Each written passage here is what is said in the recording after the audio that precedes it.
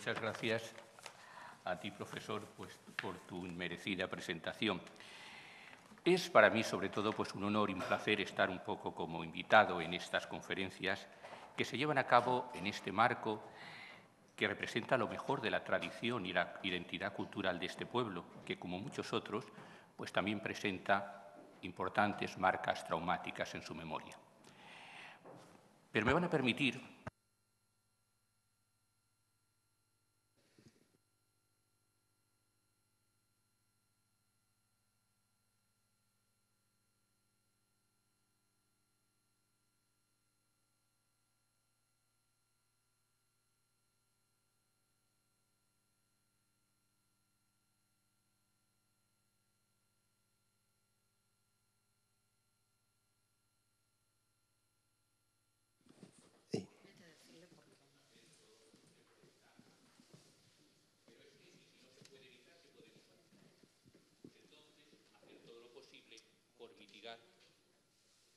por mitigar sus efectos.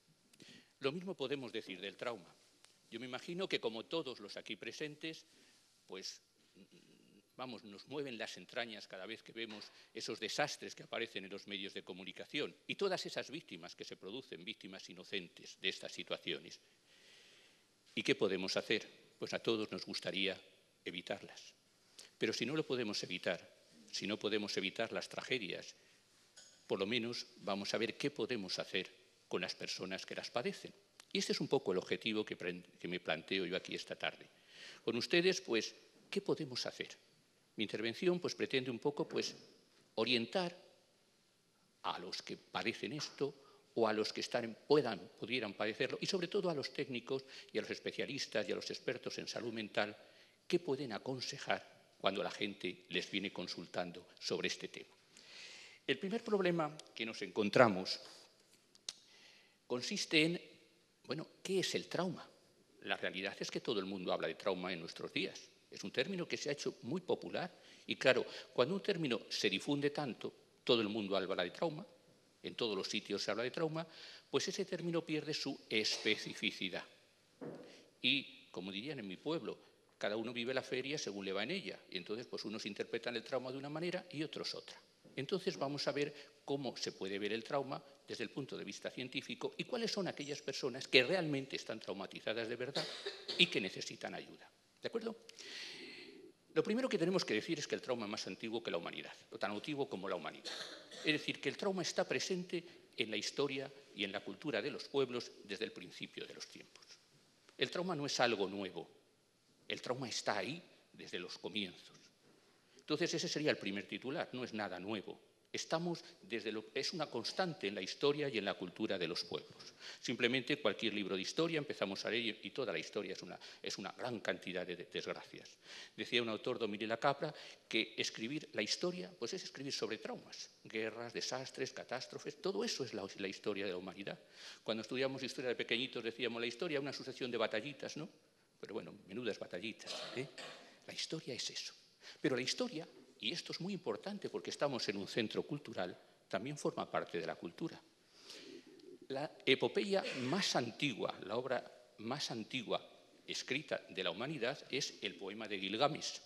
Este poema se escribiría anónimo entre, el 2700 al 2000 años antes de Cristo. Fue la primera epopeya que se, escribió. Pues bien, esta, esta epopeya narra una experiencia psicotraumática. Resulta que había un, célebre príncipe, allí se llamaba Gilgamesh, un príncipe mesopotámico, joven, alocado y bueno, muy impulsivo, y que hacía, pues, pues vivía la vida como la vivían aquella gente. ¿Cómo? Pues haciendo batallas, guerras, todo eso. Hasta que un buen día, pues él, que se creía invulnerable, que se creía inmortal y demás, pues resulta que se encuentra con una situación terrible, la muerte, en una de estas aventuras, de su amigo de correrías, de su amigo del alma. Y entonces de repente a este hombre se le, se le cambia todo, porque se encuentra que es mortal, que ha perdido a su amigo, que su amigo ha muerto, que ya no es invulnerable, y él que ya no es el invencible. Y se encuentra con algo terrible, que existe el dolor, el sufrimiento y la muerte. Y el resto del poema, pues es toda la vida de este señor, todo lo que intenta el hombre para encontrar sentido a esa nueva situación en la cual se encuentra. Que todos tenemos dolor, sufrimiento y muerte. Esto es un tema que yo me he encontrado muchas veces a lo largo de muchos de mis pacientes. ¿Qué hago ahora, doctor? Yo antes era un buen deportista, yo antes era un buen... y ahora mismo es que he perdido todo. Y resulta que yo antes vivía como, despreocupado, hacía deportes de alto riesgo, hacía determinadas cosas y ahora es que no puedo ni correr ni salir de casa. Se me ha cambiado la vida totalmente. El dolor, el sufrimiento, la muerte, la enfermedad, cosas en las cuales pues antes vivía ajeno y de repente se hacen patentes, sobre todo la evidencia de la muerte. Bueno, y no solamente está en la cultura, yo siempre pongo un poco mi autor favorito, que es Francisco de Goya. Francisco de Goya, la obra de Goya es un recorrido por toda la historia de la traumatología. Goya es el pintor pático, el pintor por excelencia del trauma. Él vivió la guerra de la independencia y vivió posiblemente muchos de esos episodios que él, la, que ha reflejado también, sobre todo con esa gran crueldad y con ese gran testimonio de lo que era esto. Podíamos hablar muchísimo y, estaríamos pues, varias conferencias hablando solamente de las relaciones entre, entre el trauma y la cultura, pero no ese es el objeto de nuestro tema. Entonces, vamos a hablar, me van a permitir que señale dos, otro aspecto que es importante. Verán, igual que el trauma está en la cultura, igual que la cultura da una forma de expresar el trauma, el significado del trauma, también la cultura la cultura de un determinado momento, de un determinado lugar, es lo que rige las doctrinas o las teorías científicas en ese momento y en ese lugar. De tal manera que durante muchos años, pues el trauma no estaba en la ciencia. El trauma, saben ustedes, que significa, viene del griego, que significa herida. Pero durante muchísimo tiempo, pues las heridas que se trataban, los médicos desde la medicina hipocrática, pues eran las heridas físicas y los traumatismos físicos. Y de ahí viene esa especialidad médica que todos conocemos de traumatología. Pero no se consideraba en medicina las heridas psíquicas, a pesar de que había referencias. Por ejemplo, pues cuando eh, Herodoto empieza a escribir sobre, la, historia de los griegos, pues habla y describe, y, y, con nombres, con nombres parece ser que fueron personas concretas, soldados que estaban atormentados por los recuerdos de la batalla de Maratón, y ya estamos hablando del siglo V antes de Cristo, o sea que las referencias eran muy antiguas. Pero durante todo ese tiempo, hasta el siglo XIX, pues prácticamente esta gente, ¿cómo superaba el trauma? Pues lo superaba sin necesidad ni de psicólogos ni de psiquiatras. ¿A qué recurría? Pues recurría a los mitos, los ritos y las religiones del momento. ¿Y cuál era la cultura que imperaba en aquel contexto? Pues la que imperaba y la que hemos vivido pues de la tradición de las grandes religiones del libro, en el judaísmo, en el cristianismo y en el islam. ¿Por qué aparece el dolor, el sufrimiento y la muerte? Porque el hombre ha pecado, ha desobedecido a Dios, ha desobedecido a los dioses y entonces como consecuencia de esa transgresión, el hombre es culpable y entonces pues tiene que pagar. En esta cultura resulta que llega un momento en que alguien tiene que pagar las culpas. Las culpas de las desgracias que le ocurren a las personas o que ocurren a las colectividades. Y las víctimas acaban siendo culpables de su propia victimización. Esto no crean que es de antiguo, que todavía existe en muchos de, nuestros, de nuestras, mm, en nuestro mundo en unos países y también incluso a veces también más cerca de, donde nosotros, de, nosotros mismos. Por ejemplo, saben ustedes que existen países en el Islam que cuando una mujer es violada puede llegar a ser lapidada por los miembros varones de su familia porque eso supone una violación del honor de la familia. Pero también a lo mejor ustedes, y sobre todo algunos que, tienen, que son un poco más de mi quinta, han oído muchas veces eso. Si a esta mujer la han agredido sexualmente, mira, mira, mira, es que va de una manera, hay que ver cómo vestía esta señora. Yo recuerdo un célebre juicio de un juez de la minifalda que, bueno, que exculpaba a un violador o a un agresor sexual porque la señora, porque la víctima, pues iba un poquito con la falda un poco corta. Eso se ha dicho. Y este señor ha sido agredido, algo habrá hecho. Es decir, que de alguna manera se culpabilizaba a las personas incluso de haber sido traumatizadas. Y no voy a decir ya, pues cuando siempre, después de ocurrir un gran desastre o, un gran, o una gran catástrofe o una gran tragedia, pues se buscan chivos expiatorios. los judíos, los moriscos, los gitanos. por ejemplo, en el terremoto de Lisboa que ocurrió en, pleno siglo XVIII, que está casi ahí mismo, pues, pues se saldó con quemando a tres herejes en, las, en playa de Lisboa. Alguien tenía que pagar eso. Y luego después, pues a los políticos del momento, la familia Tabora, que era, la más representativa en el lugar y que eran un tanto corruptos y demás, pues bueno, también los ajusticiaron públicamente. Alguien tiene que pagar. Siempre se ha buscado algún chivo expiatorio alguna víctima propiciatoria para, tratar un poco de solucionar el problema del trauma. Eso, pues todavía en algunas culturas todavía existe. Y uno de los problemas más importantes que tenemos muchas veces para la rehabilitación de, esta paciente, de los pacientes es ese profundo sentimiento de culpa que tienen. Porque habré actuado bien, me habrá pasado algo, mm, me he comportado adecuadamente y vencer eso es tremendamente difícil y superarlo al revés. A ver, a ver, a ver. Bueno, a partir del siglo XIX ya por fin aparece la ciencia del trauma. En el siglo XIX pues, se produce una gran revolución a nivel cultural, a nivel político, a nivel social y sobre todo la revolución industrial. Entonces ya en ese momento pues empiezan a aparecer expertos de todo, expertos en todas las ciencias. Y en el siglo XIX aparecen los primeros psiquiatras que se llamaban al principio se llamaban alienistas, porque en vez de llamar locura, pues sonaba un poco feo y se hablaba de alienación mental. Bueno, pues aparecen los primeros especialistas. Y aparecen las primeras descripciones científicas de las víctimas de trastornos postraumáticos en, en relación a los accidentes de ferrocarril, a los accidentes industriales y también a la guerra, a las víctimas de la guerra. Entonces, en estos cuadros se observa que la gente pues, había, que había sufrido una importante conmoción ya sea por un bombardeo de artillería, ya sea por el accidente de ferrocarril, ya sea por el, por el, por el accidente que hubiera ocurrido, y entonces como consecuencia de esa conmoción, pues la persona desarrollaba una serie de alteraciones psíquicas que duraban mucho tiempo, muy persistentes, muy duraderas.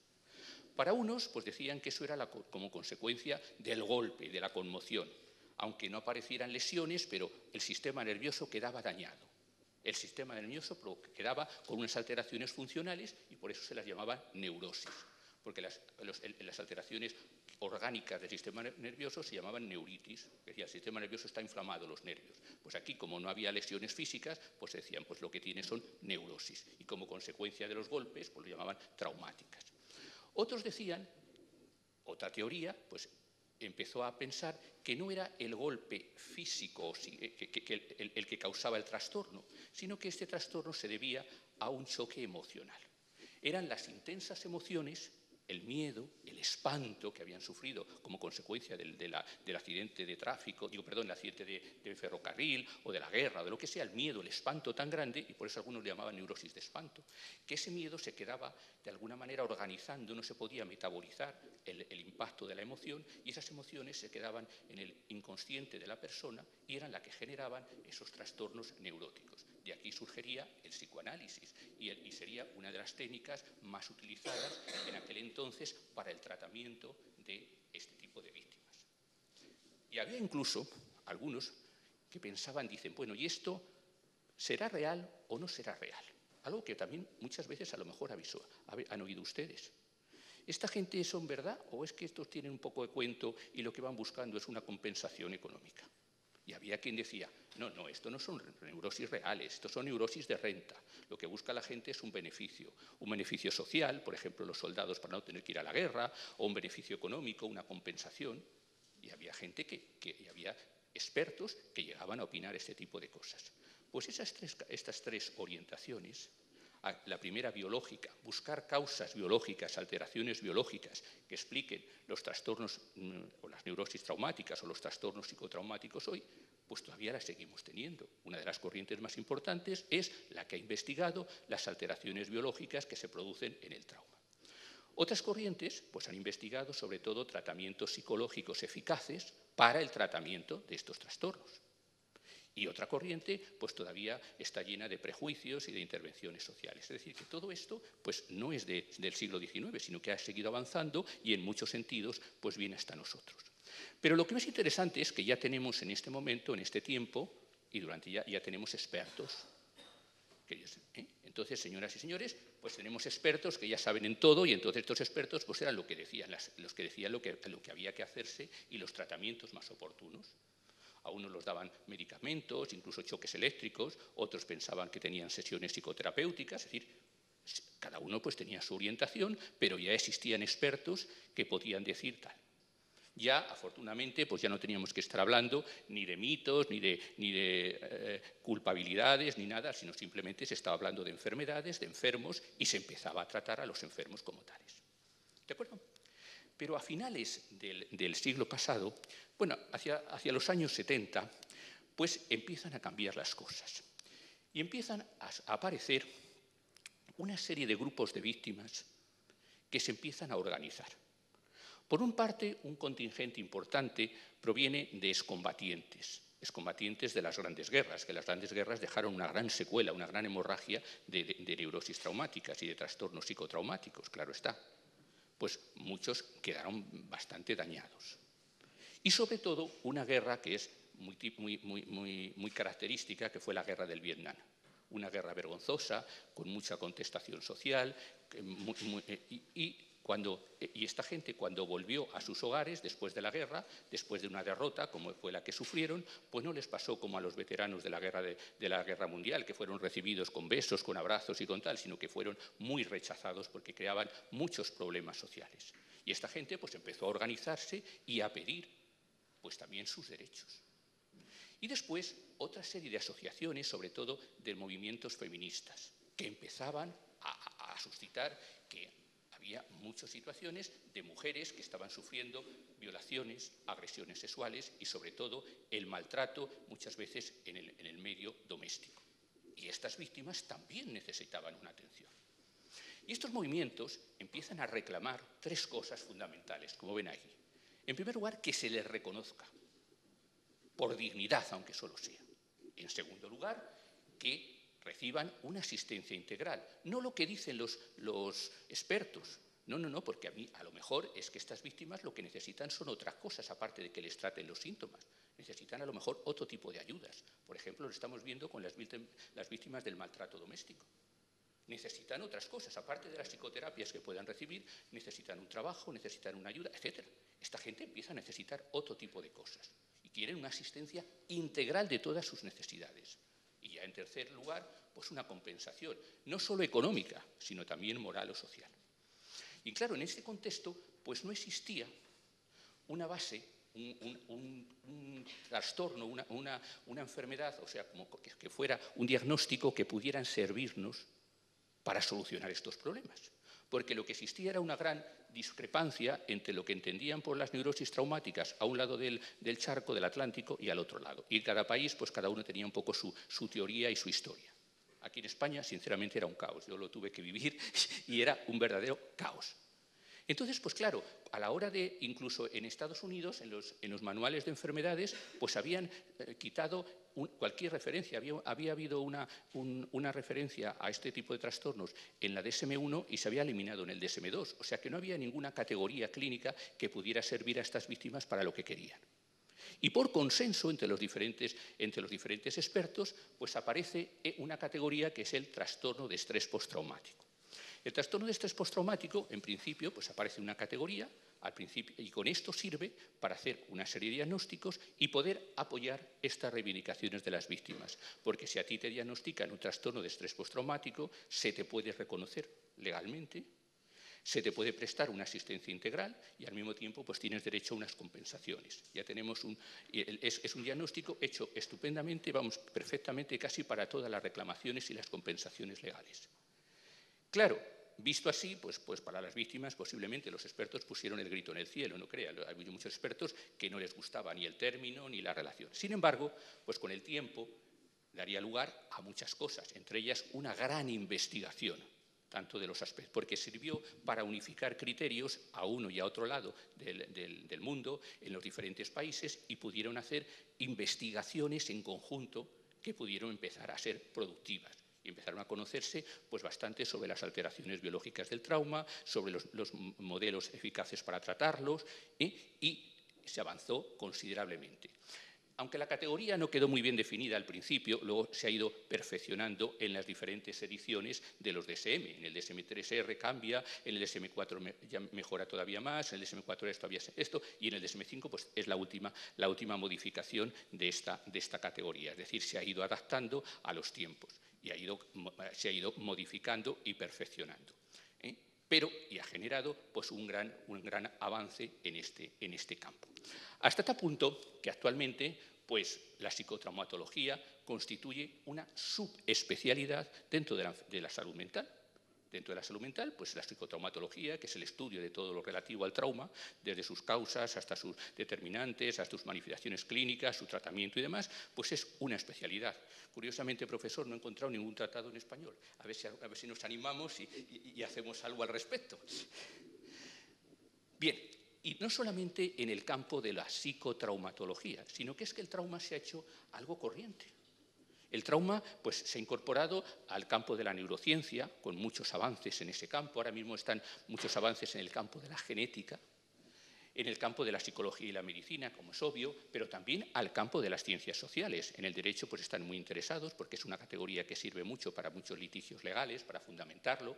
En la política, en la economía, en la sociología, en la historia, ven ahí pues he puesto unas cuantas mm, de, de, posibles de comunicaciones y de libros y de, de tal que trabajan pues, sobre el trauma en la cultura, el trauma en la historia, el trauma social y demás. O sea, el avance ha sido considerable. Pero como decía, Cuanto más se utiliza el término, pues más difuso es. Entonces nosotros pues tenemos que volver a lo nuestro. Decir, vamos a ver, ¿qué hay de lo nuestro? Pues lo nuestro es, vamos a ver el trauma desde el punto de vista clínico y sobre todo lo que a nosotros nos preocupa, que son las personas que lo padecen. Porque para los médicos no existen enfermedades, existen enfermos. Así lo hemos entendido siempre. El trauma no es nada banal. Desde el punto de vista epidemiológico, quiere decir que es un trastorno muy frecuente.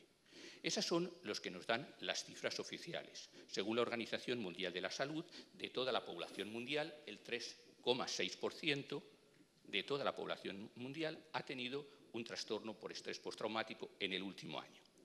Estos son estadísticas globales. Ahora podemos imaginar que hay países como Siria, Afganistán, la, zona de África subsahariana y demás, donde estas cifras están absolutamente disparadas. Nosotros, Esta es la buena noticia. Vivimos en aquel segmento del mundo donde hay menos, donde la incidencia, de este, la prevalencia de este tipo de trastornos es más bajita. Europa Occidental es donde hay menos exposición y menos trastorno de estrés postraumático. Eso no quiere decir que no lo haya, pero tenemos esa suerte, alguna tenemos que tener. En Estados Unidos pues, utiliz, utilizan las cifras del DSM-5 y, y que dan una prevalencia para un americano medio con una expectativa de vida de 75 años, pues se considera que puede tener un riesgo del 8,7% de tener el trastorno de estrés postraumático, desarrollarlo a lo largo de la vida. Bueno, estas son las cifras que dicen los epidemiólogos, los científicos. Pero, ¿qué dicen los clínicos? ¿Qué decimos nosotros? Pues decimos que las cosas no son así, son todavía más graves. Porque, claro, esto se refiere a estos casos que cumplen los criterios del libro. Y los médicos sabemos que los criterios del libro no son tan frecuentes. La mayor parte de la gente que viene a nuestras consultas, pues a veces no cumplen todos los criterios que se exigen ahí en esos manuales diagnósticos específicos. Tenemos mucha gente. Y estos que decimos, no, como usted no tiene trastorno de libro, pues no le atendemos, pues no. Y además es que muchas veces el trastorno de estrés postraumático, el trauma, está escondido, está oculto. A veces hay pacientes que vienen con, una, depresión que no se cura, que está crónica y sin embargo hay un, trauma detrás. O con un problema de consumo de drogas, o con un problema de un cuadro de ansiedad crónico, y muchas veces está, o con un problema de, alteraciones somatoformes, de, tipo somático, y el, y el trauma es que está escondido, está ahí oculto y nadie lo ha descubierto. O porque el enfermo no, ha, no ha querido hablar de ello, y eso se está oculto. Verán, el trauma es epidemiológicamente como un iceberg. Hay una parte que es la que nosotros vemos, lo visible, y hay una gran parte que está oculta. Una de las mayores causas de los traumas es la violencia, ¿verdad? ¿Qué pasa con la violencia? Pues nosotros de la violencia tenemos la imagen que nos transmiten los medios de comunicación, ¿no es así? Aquello que vemos en la pantalla parece que existe, lo que no se ve en la pantalla parece que no existe. ¿eh?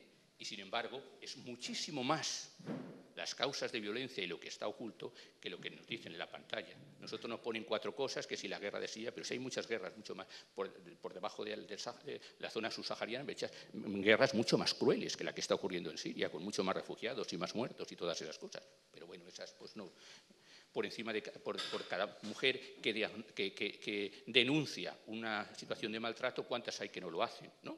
Es decir, que todo esto es mucho más complejo y hay muchas más cosas ocultas en el trauma, muchos más traumas ocultos de los que se denuncian y de los que se aparecen. Entonces, el trauma, yo entiendo, así lo que es uno de los problemas psicosociales más graves que tiene la sociedad contemporánea, porque es la consecuencia de una violencia que no cesa que a pesar de los años que llevamos, pues sigue mm, en una forma terrible. Y eso lo vemos no solamente en formas ya de grandes guerras, sino lo vemos a nuestro alrededor. Porque seguro que todos ustedes pues, están sensibilizados y conocen a cualquier persona que sufre maltrato, que ha sufrido violencia, que tiene... Porque es que está en los colegios, está en los, en los trabajos, está en las instituciones. Es muy frecuente, demasiado frecuente para lo que debía de ser. Existe violencia verbal, muy frecuente, y se ve en todos los medios, violencia física también la estamos viendo. Es decir, todo eso existe y todo eso son condiciones que preparan para el trauma. Luego, el primer mensaje, lo primero que yo les quiero transmitir es que, ojo con el trauma, es algo que todos tenemos que tener en cuenta. Y ustedes nos pueden ayudar pues, para difundir este tema y para que la gente tome conciencia de este problema y para que entre todos podamos desarrollar una cultura de la seguridad. Porque el trauma es uno de los problemas que amenaza más nuestra sociedad del bienestar. Bueno, y ya basta de introducción, vamos a ver qué podemos hacer. Entonces, lo primero que podemos hacer, pues es lo primero que se nos ocurre. ¿Qué hacemos cuando alguien pues, nos consulta, ¿no? O en cualquier sitio. Bueno, yo, vamos a ver, si yo tengo un trauma, ¿dónde tengo que ir? ¿Tengo que ir a un hospital? ¿Tengo que embarcarme, ir a, Houston, a Estados Unidos? ¿Dónde tengo que ir para que me atiendan? ¿Cuándo hay que ir? ¿Con qué medios? ¿Qué tengo que pedir yo al especialista? Bueno, pues son las primeras cosas que yo, que yo les planteo aquí. Vamos, que yo voy a intentar un poco responderlas. Cuando a mí alguien me dice esto, pues yo le digo, mire, usted puede hacer lo que usted quiera. Yo le voy a hacer una serie de orientaciones para que usted se haga idea de, de lo que tiene usted que hacer, como cuando va a comprar un electrodoméstico. ¿no? Pues usted lleva la idea y usted ya elige lo que quiera. Pues aquí, en principio, tenemos una gran oferta la, vamos, la buena noticia es que hay muchas técnicas y que hay técnicas eficaces, pero también hay tantas que no, todas son eficaces y muchas pues no lo son. A un paciente me decía, doctor, ¿y qué tal si yo me apunto bailes de salón? Y yo le, le dije, pues hombre, que se va a divertir usted mucho, pero eso no es un tratamiento homologado para el trauma. Es verdad, ¿eh? me lo dijo, y quería bailar y, pilates y no sé cuántas cosas más. Bueno, pues todo eso es maravilloso, se divertirá mucho, pero eso no es una, no es una, una técnica homologada. Entonces, pues vamos a las intervenciones. La primera pregunta, ¿dónde? Pues siempre en salud mental siempre procuramos que sea en el ambiente de la persona, siempre en el ambiente más próximo. ¿Mm? En, la psiquiatría de la guerra, pues se decía una cosa muy sencilla. Si tú vaca, perdón, baja evacuada, baja perdida. Es decir, que tú, mm, pues, cuando, claro, es un problema de que tienes que mantener el mayor número de combatientes posibles en activo. Como alguno lo quites porque le ha dado el TLL, el ataque histérico o lo que sea, ya no lo vuelves a recuperar. Entonces hay que tratarlas, hay que hacer los tratamientos dentro del ambiente. Al sujeto, pues conviene no separarle de su ambiente, salvo casos excepcionales en los cuales exista un grave riesgo para su vida o para la integridad de las personas, pues el, paciente tiene que tratarse pues en su ambiente, no hay que hospitalizarle ni nada parecido, hay que tratarse en su ambiente, a ser posible, pues de forma ambulatoria, es decir, y dentro de su ambiente, no hay que sacarle por ahí. Segundo, ¿cuándo? Pues cuanto antes mejor. Cuanto antes mejor para evitar que esto se cronifique y cuanto más tiempo se deje avanzar pues mucho peor. Tercero, ¿qué hay que pedir al especialista? Pues hombre, siempre en este tipo de cosas pues hay que mantener la esperanza.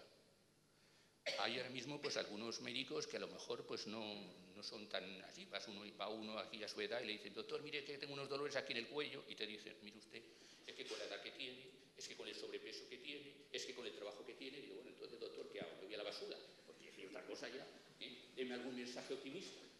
Pues bueno, pues a ver si lo hacemos también igual con este tipo de... No, mire usted, es que vaya una depresión que tiene usted. Ay, perdón. Vaya una depresión tan grande que tiene usted. Pues, pues hombre, vamos a ver, ¿eh? Siempre hay que mantener la expectativa. Ahora mismo se está trabajando mucho en, oncología, con el cáncer, ¿no? con el cáncer de mama y tal. Pues saben ustedes que cuanto más hay que luchar contra eso. Pues aquí exactamente lo mismo. Y empezando desde los, organismos sanitarios. Hay que mantener la expectativa de que la gente se puede recuperar, porque es que es verdad. ¿eh? Y no poner las cosas en lo problemático y lo difícil, sino ver las posibilidades de recuperación que tienen las personas. Y tercero, o perdón, cuarto, por favor, técnicas sencillas. Aquí nada de complejidad, pero técnicas sencillas para todos. Yo algunas veces, yo trabajaba en un servicio hospitalario y te encontrabas un paciente de 82 años con una lista de medicamentos y, vamos, es que daban vueltas a las hojas. Y digo, ¿cómo es posible que manden esto? Porque ninguna persona normal puede seguir estas instrucciones. Esto tan complejo no hay quien lo siga. Tratemos de buscar tratamientos que sean lo más sencillo posible, por el paciente y por quien los tiene que aplicar, porque técnicas complejas y complejísimas pues solamente estarán al, alcance de algunos expertos muy, muy, muy preparados. Pero claro, tenemos que, atender a muchas personas y tenemos que tener algo que esté al alcance de todos. Después, otras cosas que son pues, las que recomienda el profesor, eh, que, tenemos técnicas que son eficaces, que sean efectivos y que sean eficientes. En síntesis, que sean técnicas que se hayan podido comprobar científicamente y que se hayan podido probar en nuestros pacientes. Porque a mí todos los días, o me venían cada dos por tres, pues venían, doctor, que hemos sacado una, yo soy psiquiatra, doctor, que hemos sacado un medicamento nuevo y que se ha probado en tal sitio, en tal sitio y tal sitio. Y yo les decía a mis colaboradores, espera, espera, espera, que los experimentos con gaseosa, Primero vamos a ver si en nuestros pacientes, en los grupos de pacientes, pues empieza a funcionar y después pues ya veremos si lo, utilizamos o no, porque a lo mejor tiene los mismos efectos que otro que estamos utilizando y que resulta mucho más barato, que resulta mucho más eficiente, porque tiene menor coste. Pues lo mismo ocurre con las técnicas psicológicas.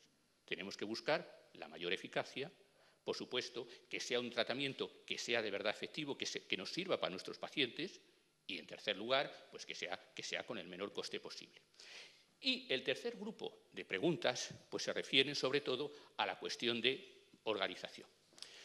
En general, el trauma tiene diferentes niveles de análisis. Ya os he hablado que, por ejemplo, pues a veces va a necesitar un tratamiento farmacológico que tendrá que controlar, pues a lo mejor un psiquiatra va a necesitar a lo mejor varias intervenciones psicoterapéuticas o psicológicas que, van a, va a tener que llevar a lo mejor uno o varios psicólogos clínicos. Va a necesitar intervenciones sociales que van a tener que realizar pues, algunos, eh, algunos, eh, algunos, profesionales sociales. Entonces, en este contexto, pues claro, ¿qué, ¿qué, ocurre? El paciente está muchas veces desorientado, porque fulanito le dice una cosa, el otro le dice otra. Bueno, todo ese equipo tiene que tener una estrategia de equipo y tiene que estar coordinados. Y alguien tiene que estar a cargo del paciente. Porque a mí me ha dicho, bueno, alguien tiene que estar a cargo del paciente para que el paciente pueda ir consultando sus dudas y sus problemas. ¿De acuerdo? Tercer o segundo, tiene que existir un control. Alguien tiene que controlar aquello, porque es que no sabemos si ese tratamiento que se le está aplicando desde diferentes perspectivas es o no eficaz. Entonces tiene que haber un seguimiento. No sabemos si esto es eficaz, si esto le va ayudando, o si al contrario ese tratamiento le está perjudicando, o si tiene efectos secundarios. Tenemos que tener un seguimiento, unos controles de este paciente. Y en tercer lugar, obviamente, esto sobra, profesionales preparados. Decía un maestro mío que no hay terapias buenas o malas, sino que existen terapeutas buenos y, menos buenos. ¿Vale? Es decir, que la gente tiene que tener una preparación para empezar a aplicar este tipo de cosas. Bien, con todo esto, después de esta introducción, pues entonces lo primero que pedimos al, enfermo, o perdón, al médico o al eh, eh, facultativo, al, especialista con el cual vayamos nosotros a trabajar, lo primero que necesitamos es un plan. Vamos a ver, doctor, yo tengo esto y ¿qué podemos hacer? Pues un plan de tratamiento. Vamos a ver cómo organizamos esto. Y en el plan de tratamiento, lo primero hay dos ideas. Primero, tenemos que adaptarnos a la situación real de la persona y al contexto en el cual se encuentra. Me explico. No es lo mismo un plan de tratamiento para un niño de 7 años que para un anciano de 82 o para un joven de 24. No es lo mismo para un universitario que para una persona que no tiene estudios. Es decir, tenemos que adaptarnos a las circunstancias.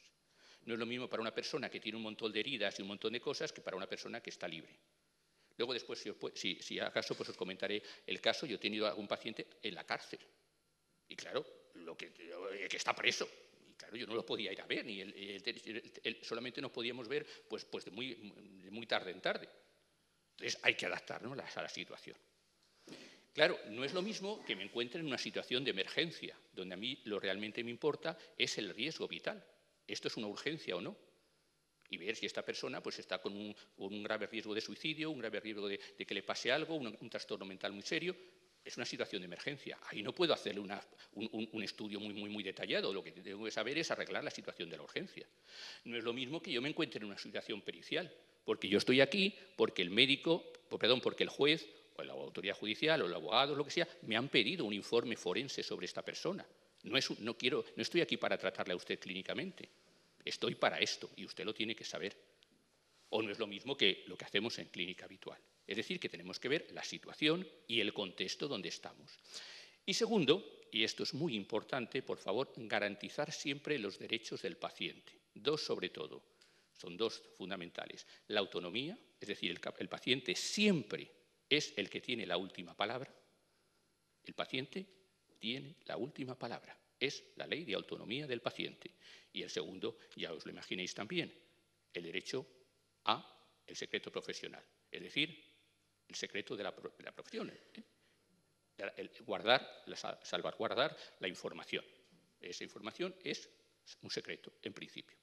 Salvo en el caso pericial, en el cual tenemos que decirle al sujeto que la información que, tenemos y que vamos a sacar, la vamos a elaborar un informe pericial y que eso va a ser público. Yo generalmente siempre les pido que, me lo firmen, que están de acuerdo con eso, para evitarnos problemas. Pero el, sujeto tiene derecho a saber qué se va a hacer con esa información. Y en el caso pericial, mire, es que esto va a los tribunales. Así que lo que usted me diga, ya sabe a dónde va. Si usted no quiere que salga, pues no me lo diga. Eso es obvio. Bien, entonces, una vez que hemos garantizado esta situación, pues pasamos a hacer el plan de tratamiento. Yo he puesto aquí siete puntos, podemos poner ocho, catorce, dieciséis, cada equipo pues tiene los suyos. Pero más o menos, pues vienen a ser estos los que, los que suelen estar pues, en casi todos los sitios.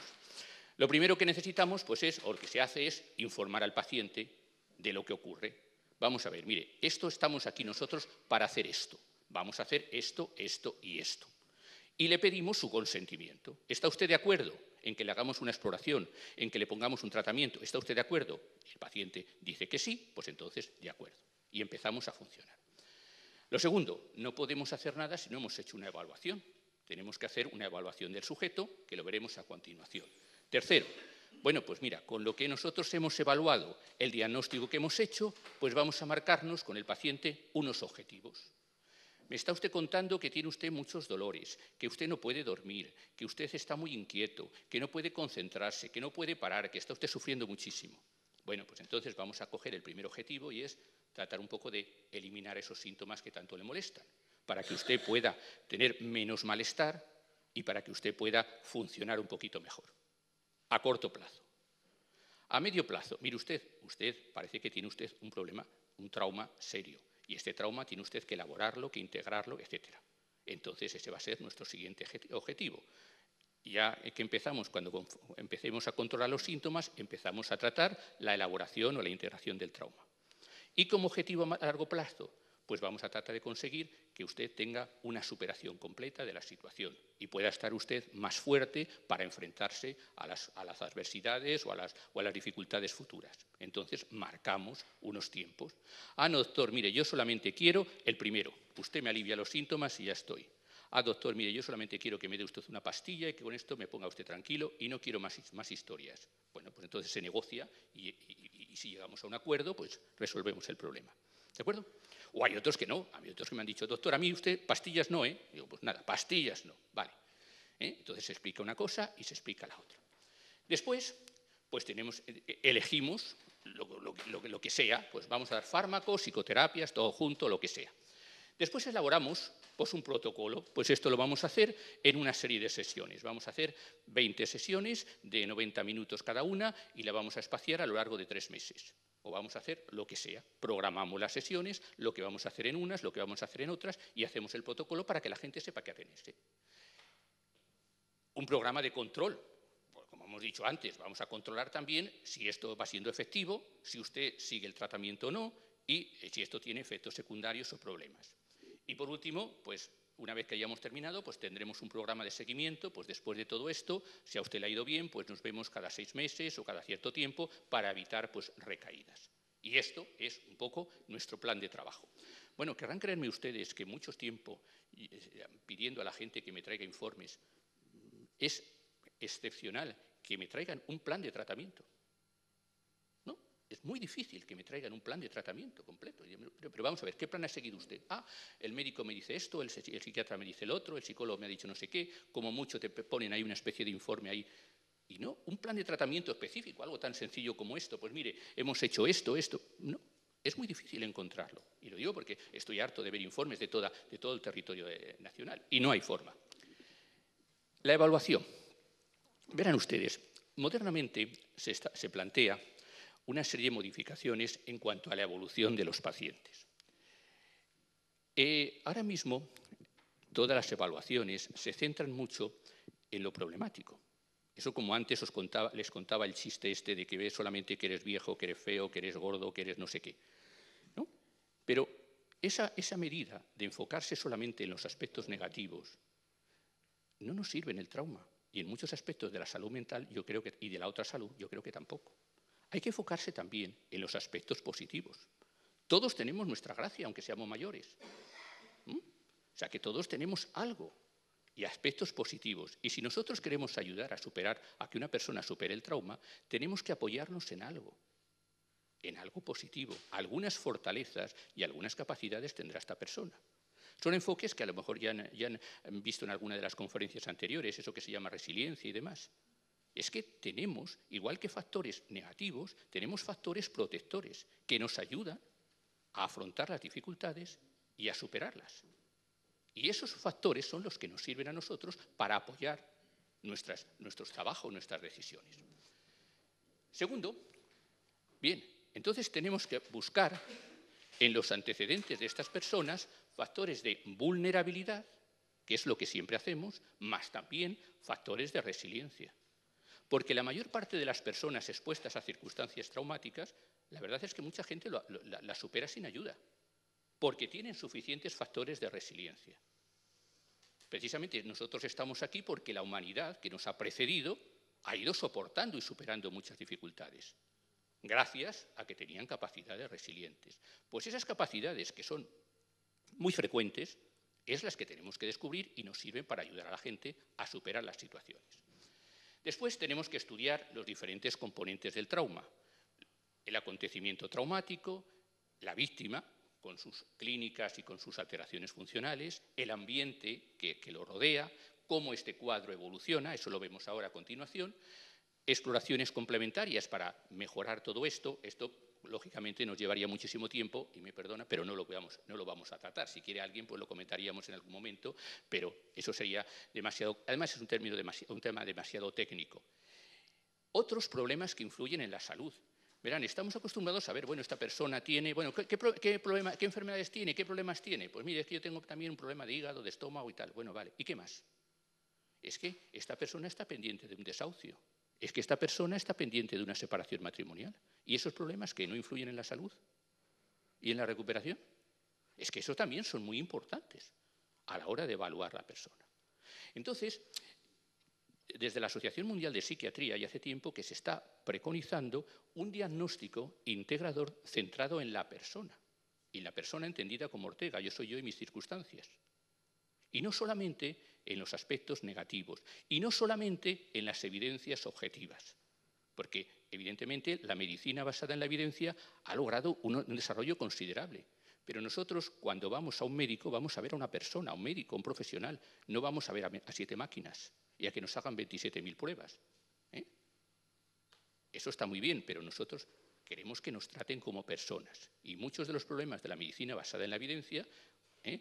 Es que, también deshumaniza a las personas, el acto médico, deshumaniza las intervenciones. Y si eso ocurre a nivel de la psicología clínica o de la psiquiatría clínica, pues todavía a mí me parece todavía más serio.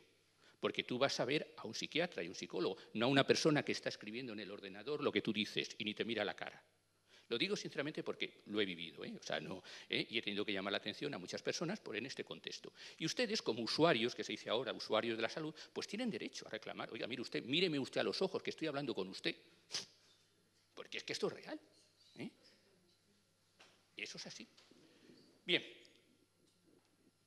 hablamos un poco de los tres componentes del trauma. Esta es una triada, verá. Lo primero, el acontecimiento potencialmente traumático. ¿Por qué digo potencialmente traumático? Porque todavía no ha aparecido el trauma. Y es un acontecimiento que a unas personas les causa un trauma y a otras no. Entonces, por ejemplo, pues un divorcio a unas personas es traumático y a otras personas no. Entonces el divorcio es un acontecimiento potencialmente traumático, porque, solamente, porque a algunos sí y a otros muchos no. ¿De acuerdo? Y así pues pasa con, muchos acontecimientos. Entonces, el acontecimiento, claro, será más traumático, será un riesgo para desarrollar un trauma cuanto más grave sea. ¿Y cuánto es más grave? Pues cuando suponga una mayor amenaza para la vida o para la integridad de las personas. Aquellos acontecimientos que son muy, muy amenazantes para la vida o la integridad de las personas, la integridad, y cuando hablo de la integridad, ojo, no me refiero solo a la integridad física, me refiero también a la integridad psicológica y a otra que también es muy importante, y es la integridad moral a la dignidad de las personas. Porque muchas veces se hace énfasis en esto, amenaza para la vida. Bueno, pues yo he visto muchos casos de acoso laboral en la cual la vida de la persona no, corría peligro. Incluso la integridad psicológica relativamente, pero, pero acababan, machacaban la dignidad de esa persona. Y eso es especialmente traumático. A pesar de que los libros y las eh, tal digan que sí, que es muy importante la amenaza y la vida y la integridad de la persona. Por supuesto que es importantísimo, pero no es lo único, sino que también hay otras amenazas. Cuanto más grave, más riesgo. Hay acontecimientos pues, que son puntuales. Yo sufro una agresión criminal, yo sufro un incendio, es puntual, es muy raro que pase más de una vez en la vida, e incluso una vez en la vida es casi excepcional.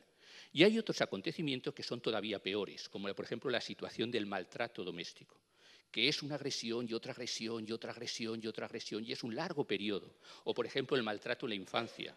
Y que digo yo, pues por ejemplo, de la experiencia en un campo de concentración, en un campo de prisioneros, etcétera, etcétera.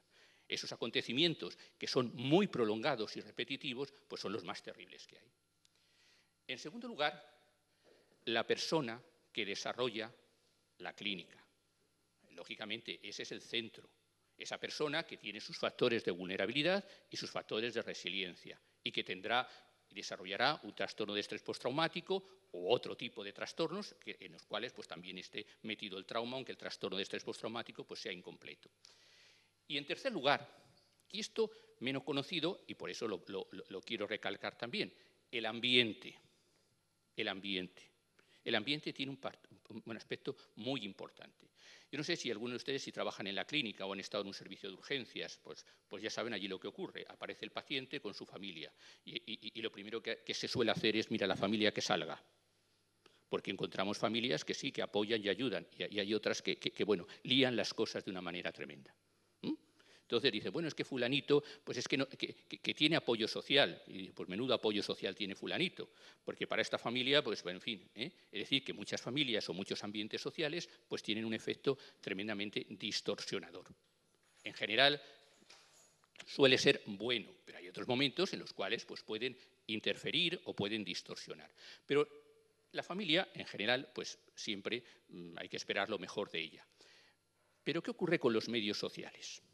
Es un problema que siempre ocurre con los medios sociales, que a veces, cuando ocurre un atentado, cuando ocurre un desastre grande o lo que sea, pues los medios sociales, en vez de ayudar y decir, la gente que esté afectada lo que tiene que hacer es esto, esto y esto, y adoptar estas medidas de seguridad y tal, complican las cosas de una manera terrible todo el mundo se va a quedar traumatizado, esto es terrible, difunden, eh, crean una situación de alarma, enfocan aquello como, los aspectos más morbosos y más terribles, y entonces, pues claro, al final pues dices, bueno, y esto mm, es que con esto va a quedar todo el mundo hecho, una pena.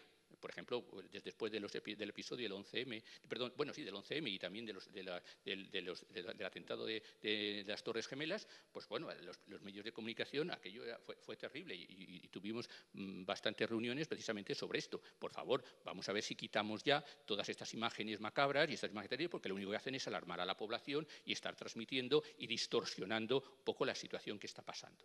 Entonces, ojo con todas estas circunstancias del ambiente, porque el ambiente puede favorecer y ayudar o el ambiente puede distorsionar.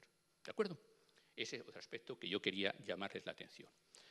Bueno, hay factores de vulnerabilidad, por supuesto, y hay factores pues, de resiliencia, todos unidos, antes del trauma y después. Hay factores genéticos que, eh, protegen, hay factores genéticos que, hacen más vulnerable, todas estas cosas.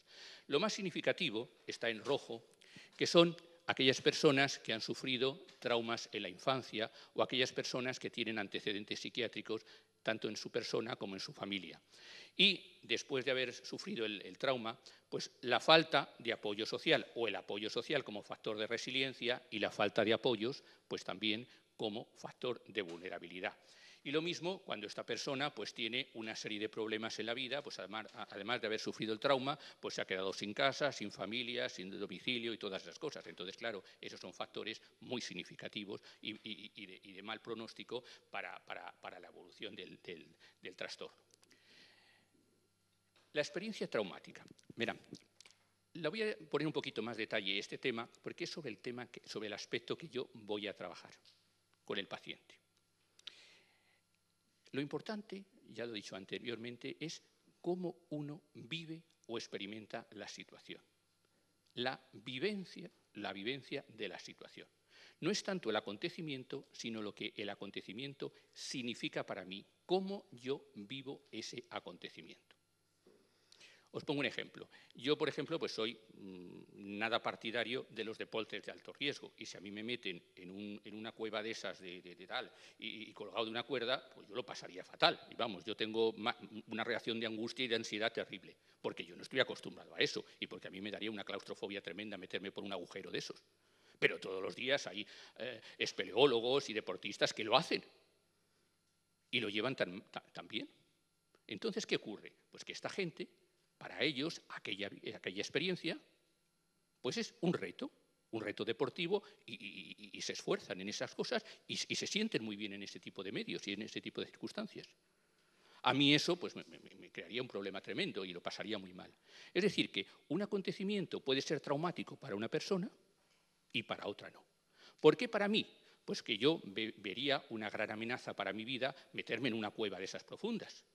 Pero esta otra gente pues lo vive como un reto, como un desafío personal.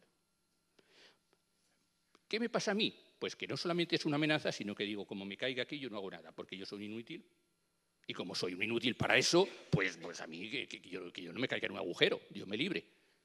Porque soy incapaz, porque me sentiría pues incapaz, inútil, indefenso y todo eso. Pero ellos no.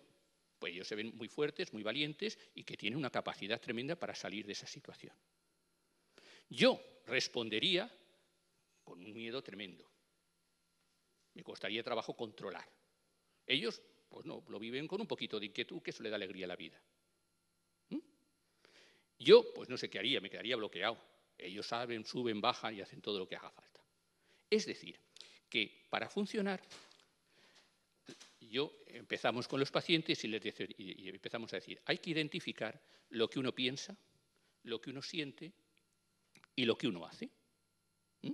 Aspectos cognitivos, afectivos, volitivos. Pero eso, los términos dejémoslos. Lo que uno piensa, lo que uno siente y lo que uno hace. Lo que uno piensa.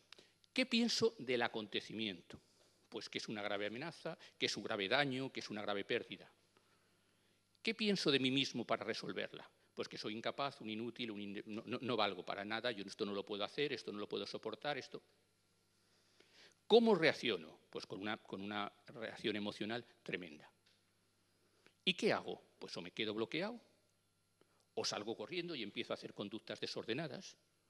Por ejemplo, sería el caso de los soldados, por ejemplo, sometidos esos que estaban en las trincheras y que los estaban bombardeando, pues a veces del, miedo, del espanto que tenían, salían corriendo, iban incluso en dirección al enemigo. Claro, pero no salgáis imbéciles, que os van a matar, y los mataban, claro. ¿Eh? En los pánicos, cuando hay, por ejemplo, un pánico en un grupo de gente y realmente hay fuego y empiezan a salir una, huida desordenada y allí la gente sale porque no, controla. Es una, huida descontrolada y entonces pues pasan muchas cosas en estas situaciones de pánico. Entonces, esos tres elementos son los que van a hacer que el acontecimiento sea o no se pueda elaborar ni integrar como un recuerdo normal.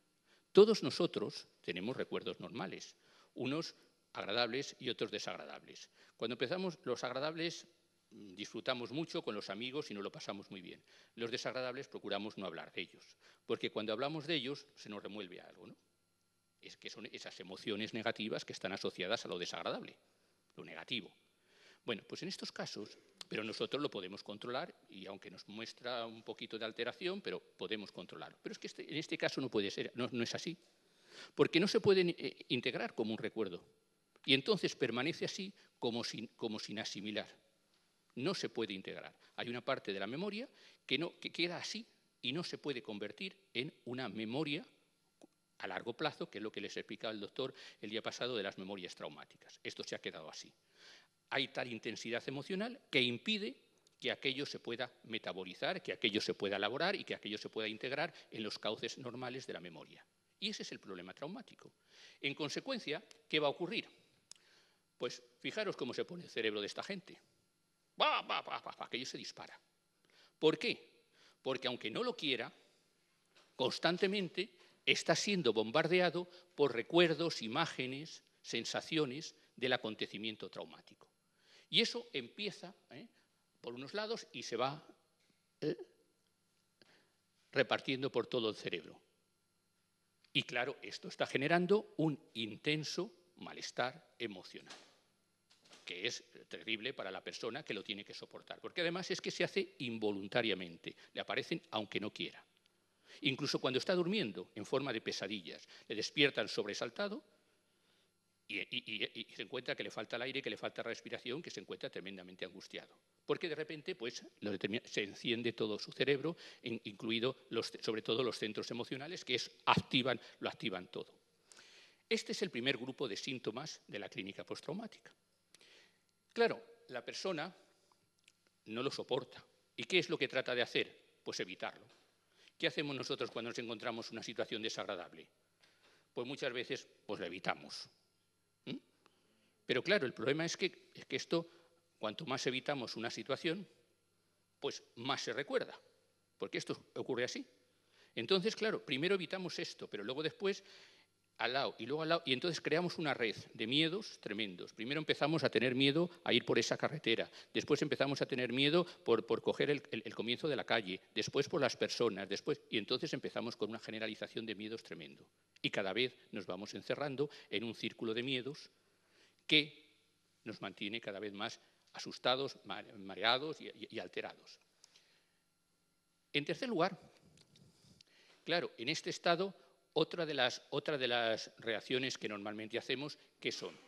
Cuando tenemos pues, mucho dolor, mucho sufrimiento, muchas cosas, pues a veces uno se queda como embotado. Dice, yo quiero estar como una piedra, que ni siente ni padece. Y a veces pues casi nos anestesiamos, ¿no? Entonces, de tanto estar sufriendo, pues, pues nos embotamos y decimos, bueno, yo es que ya ni siento ni padezo. Y me dicen la familia, la gente dice, es que yo, mire, doctor, es que ya no quiero ni a mis hijos, parece como si ya no los quisiera. Porque es claro, es que yo no puedo estar en este estado y entonces pues estoy sufriendo tanto que estoy embotado. Ni para pensar, ni para tener afectos, ni para nada. También, como lo estoy recordando constantemente y reviviendo constantemente el acontecimiento, pues eso recuerdan lo que pensábamos antes del acontecimiento, que era una amenaza muy grande, que me causaba un daño muy grande, pues entonces cada vez más sobrevaloramos o exageramos aquello que pensábamos del acontecimiento. Y entonces no era una amenaza muy grande, ya es grandísima. Y cuanto más nos amenaza, o cuanto más la vivimos, pues más amenaza la consideramos. Y más daño consideramos, y más pérdida consideramos. Y si yo me veía como un inútil, pues ahora me veo más inútil todavía. Y si me veía como un incapaz, pues más incapaz todavía. Y si pensaba que los demás no me ayudaban o demás, pues entonces empiezo a desconfiar de los demás. Es decir, que todo lo que yo pensaba sobre la gente, sobre el acontecimiento y tal, pues a base de repetirlo tanto, pues cada vez lo estoy distorsionando más. ¿Mm? Y luego, pues aparecen también, claro, en este sentido, pues, pues tengo, tengo un humor de perros. Un humor que es una especie de cóctel en el cual el sujeto está triste, está nervioso y al mismo tiempo está irritable. Es decir, que todo le molesta y es lo que llamamos disforia, es esa especie de cóctel que hay ansiedad, depresión y, e irritabilidad. Es un estado de mal humor constante y que ya ni me apetece nada, ni me divierte nada, que es lo que llamamos anedonia. Y por último, pues claro, lógicamente es que, es que miren, es que el cerebro es que no para, está en un estado de hiperactivación crónica, es que está constantemente en alerta, siempre buscando, buscando peligros. Entonces, claro, como está en alerta constante, pues es que ya ni duermo, ni me puedo concentrar en nada, ni puedo hacer nada, porque es que estoy totalmente, totalmente mm, ¿eh? activo y totalmente inquieto. Es como cuando nos pasa en un examen, que claro, nos ponemos tan nerviosos que andamos pie, pie con bola, pero es que este sujeto es nervioso constante. Y también, pues, está, se sobresalta con todo, reacciona con todo, cualquier cosa le molesta, y algunos empiezan con conductas de riesgo. Bueno, parece que con esto ya le hemos dejado. Hay, en otros casos, pues estos son los, elementos mm, nucleares, lo principal que se considera para los criterios diagnósticos, pero también pues, pueden aparecer trastornos de conducta, somatizaciones, consumo de drogas y demás. Bueno, pues no crean que con esto hemos terminado. El pobrecito todavía no hemos terminado, ¿eh? Todavía quedan más cosas.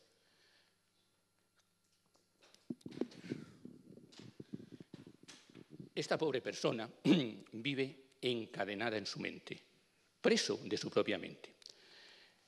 En este proceso en que constantemente se le están metiendo en la cabeza las memorias traumáticas y esas conductas de evitación que está haciendo, pues están generando un malestar constante, del cual pues es como un candado que no se puede librar.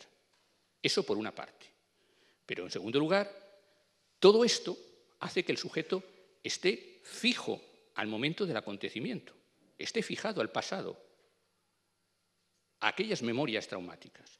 Y fijado a su pasado, se encuentra que ha cambiado, que es que no ha evolucionado. Es que su persona ha dado un cambio tremendo. Recuerdan el caso de Gilgamesh, se encuentra con la muerte, las pérdidas, mi vida ha cambiado.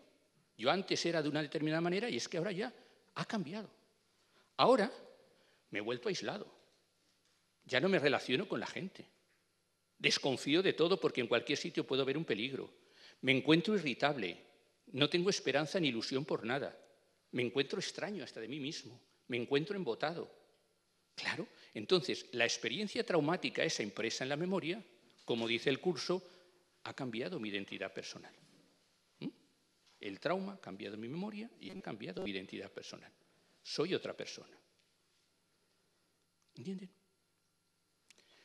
Entonces, claro, cuando yo voy a empezar a tratar esto, por una parte tendré que reducir los síntomas, pero si la persona la quiero ayudar a superar el trauma, tendré que actuar también en esta línea.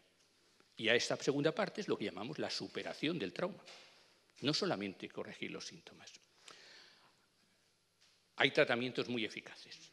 Estos son los más recomendados, que son las terapias cognitivo-conductuales centradas en el trauma que son las más recomendadas y que existen manuales técnicos específicos de ellas y que perfectamente están homologadas y están al alcance de, la gente que, se quiera preparar en ellas.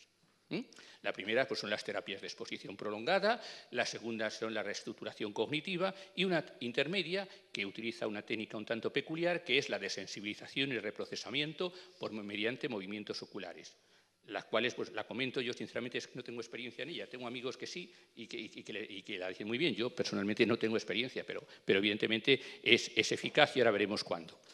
La farmacoterapia asociada a la anterior y luego después podemos ayudarnos de algún otro tipo de técnica para eh, para colaborar. Por ejemplo, antes de exponer a la persona a, los recuerdos, pues a veces podemos ayudarle con una técnica de relajación o podemos ayudarle para superar los, problemas que tenga en su vida, pues enseñarle habilidades para afrontar las dificultades. Es decir, que son técnicas que podemos asociarlas para, para ayudar a esto.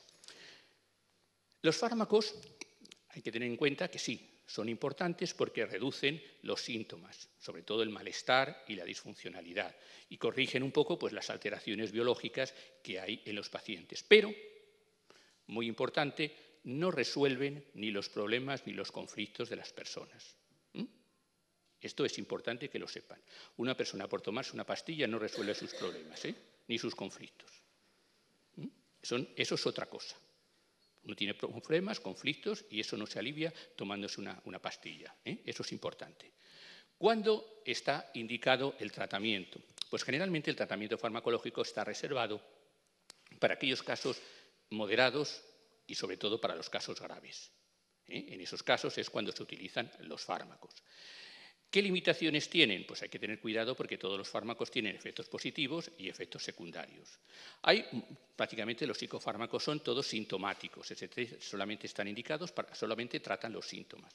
Los que más recomendados pues son los antidepresivos, pero dependiendo del caso, pues podemos a veces utilizar pues otro tipo de, de, otros grupos de fármacos. Ojo con las benzodiazepinas o con los tranquilizantes, porque existe el riesgo de crear dependencia.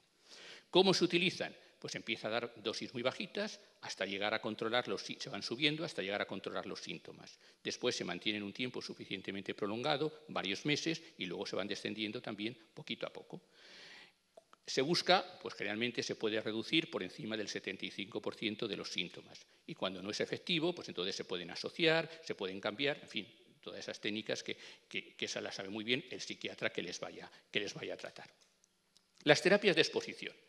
Las terapias de exposición pues consiste en exponer a la persona a esos acontecimientos temidos. La exposición puede hacerse de muchas formas. Generalmente se suele hacer en imaginación. Ahora mismo existe ahora mismo una gran eh, tendencia a utilizar la realidad virtual y hay muchos programas en los cuales utilizan la realidad virtual para exponer al sujeto al acontecimiento. En raros casos mm, se le coloca al sujeto en situaciones reales y en algunos casos pues, se, pues, se hace pues, incluso por medio de relato escrito, se le pide que relate y que, que escriba sobre el acontecimiento. Mm, ¿De qué sirve esto? Pues que simplemente conforme a esta persona le vamos exponiendo al acontecimiento, pues se va habituando al miedo y va controlando un poco su malestar emocional. Y al mismo tiempo podemos empezar a hablar de sus temores, de sus miedos e ir corrigiendo esas distorsiones que tiene sobre el acontecimiento o sobre, su misma persona, sobre sus propias capacidades. Está indicado pues, en aquellos trastornos con, que tengan ansiedad y evitación. Ojo, y contraindicado en aquellos pacientes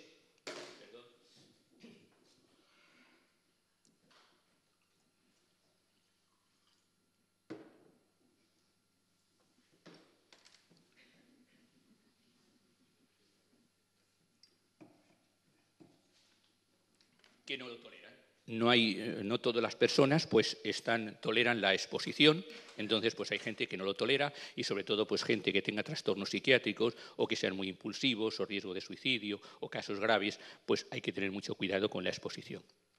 Hay una variante que es esta, asociar la exposición con el seguimiento de los movimientos oculares. El, terapeuta desplaza el dedo en uno y otro sentido y, y vas siguiendo con, la, vista, pues el desplazamiento del dedo. Entonces, mientras estás entretenido en esta tarea, ahora también hay unas técnicas maravillosas, hay un osciloscopio que tiene una lucecita que la desplazas en un sentido y en otro, y el, paciente lo va siguiendo. Y mientras tú estás enfocado en esa, en esa teoría, en esa, perdón, en esa tarea, pues empieza, se pide que recuerdes el acontecimiento traumático, que se te expone en imaginación al acontecimiento. Y eso, pues, parece ser que es, vamos, no parece ser, es mejor tolerado que la exposición in bruto. ¿eh? Entonces, pues, se utiliza como técnica alternativa. Generalmente está indicado en los cuadros leves a moderados y está contraindicado, pues, lógicamente, en cuadros muy graves o en pacientes de riesgo y la reestructuración cognitiva, que prácticamente pues, también se suele asociar a las anteriores. ¿En qué consiste? Pues que al mismo tiempo, después de una tarea de exposición, vamos corrigiendo esas interpretaciones erróneas que el paciente tiene respecto al acontecimiento, respecto a sus propias capacidades, respecto a los demás y respecto un poco a su vida. Y le vamos mm, ayudando ¿eh? a corregirlas.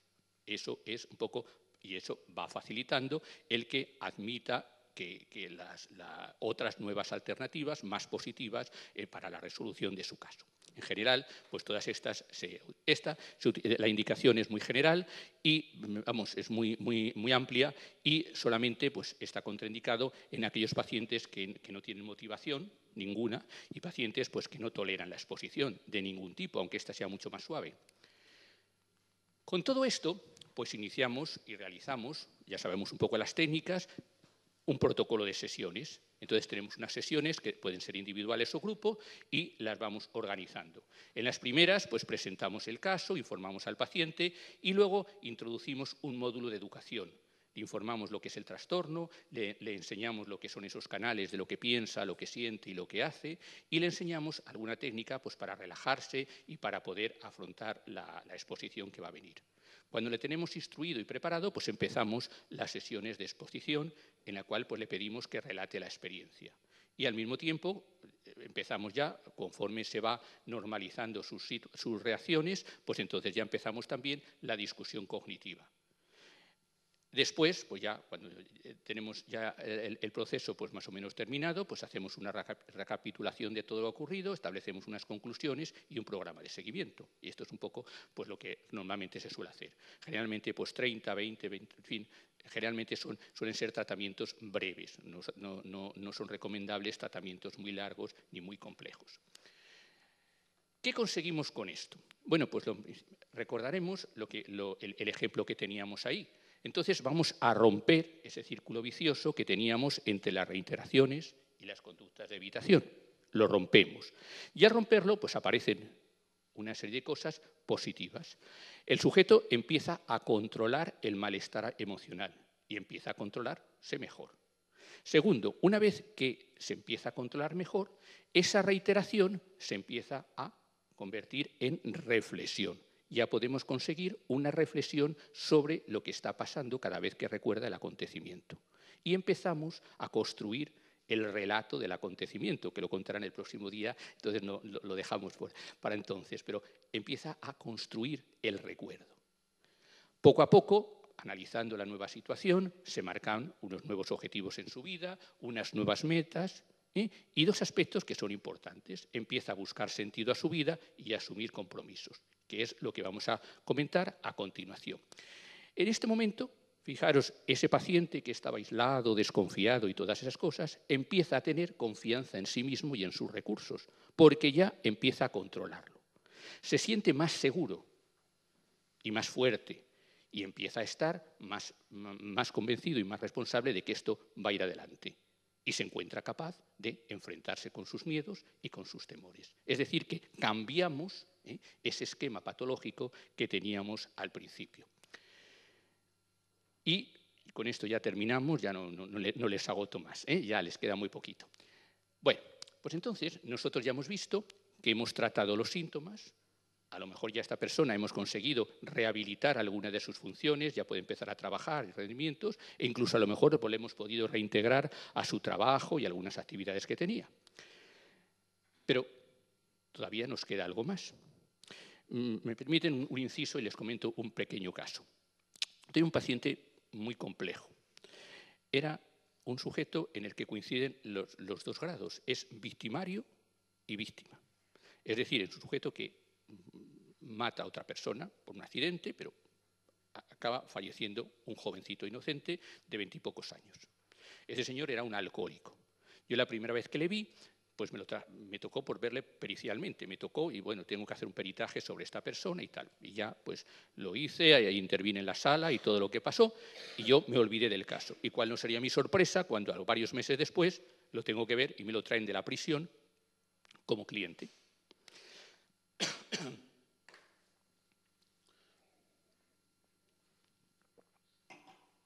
Perdón. Entonces ahora imagínense la situación.